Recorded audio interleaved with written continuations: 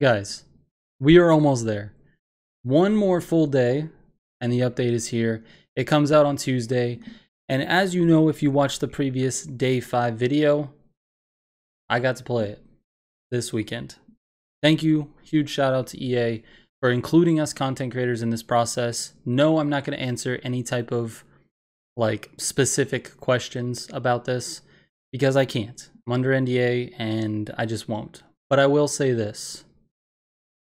I'm excited for this update to become live. Based on the patch notes alone, there is so much good for this update that I have a feeling that it's going to bring players back. Now, I don't really know what I'm talking about tonight. My head is flooded with different thoughts, different things, content that I'm working on. I still have another video that I need to make tonight and it's uh yeah. It's it's just been a whirlwind last few days for me. So um I appreciate you guys coming back for another video and I'm going to continue to do this. I'll do another one tomorrow and that's where my head's at right now. It's just like video, video, video. Um, I can give you a heads up on the content for the next um, for the next day. Today's Sunday when I'm posting this. Tomorrow's Monday. I will have uh, I will have videos for you tomorrow uh, regarding the update. I can't say what they are, and I can't say pretty much anything other than videos will be posted on my channel tomorrow. Um, so just keep an eye out. Keep your notifications on if you haven't already.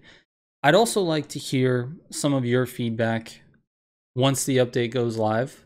I would love to hear how you guys are enjoying it, not enjoying it, uh, liking the changes, not liking the changes. Anyway, we have new events as that patch notes uh, yeah, man. I'm like, oh man, I'm like, don't even know what to say because I'm really trying hard not to say something that I shouldn't say. I have to just stick to some of the things that are in the patch notes. So they talked about in the um, in the trailer article. It talks about a bunch of new events. Uh, it talks about the hot lap event uh, or activity, I should say. I guess. Um, Obviously, you guys know by now there's cops involved in multiplayer. Uh, in the in the patch notes, they talked about the payouts being larger uh, for the events, both the base payout and the multiplier. Um, I can confirm all of that stuff. Uh, other than that, there's uh, yeah, there's just a lot a lot going on in that in this update, and I'm uh, to be honest with you, I'm I'm really proud of the work that Criterion did. I was pretty critical of them in my first video when I was doing this because we hadn't heard anything. And, and, I'm still standing by those words. I really wanted to hear something earlier. But knowing what I know now about the patch, uh, about the patch notes and and the uh, content update, um, I'm really I'm really proud of them. I think that they accomplished a lot in uh, in just a few months I really wish we would have known about it, and, and that's one thing I have to I have to push for is uh, is some sort of roadmap. I would love to know a roadmap to how this is working and how what their plans are for the next update, even after this. You know what when is that going to happen? Or hey, we're planning on doing more bug fixes on a small little hot fix in the next two weeks uh, to to sort out anything that was going on with the with the uh, the big update. So even just something little like that would be great. I just love. I want to be able to communicate with the developer, both the developer and the publisher. I want to be able to talk to these guys and just get as much information as they can legally tell us.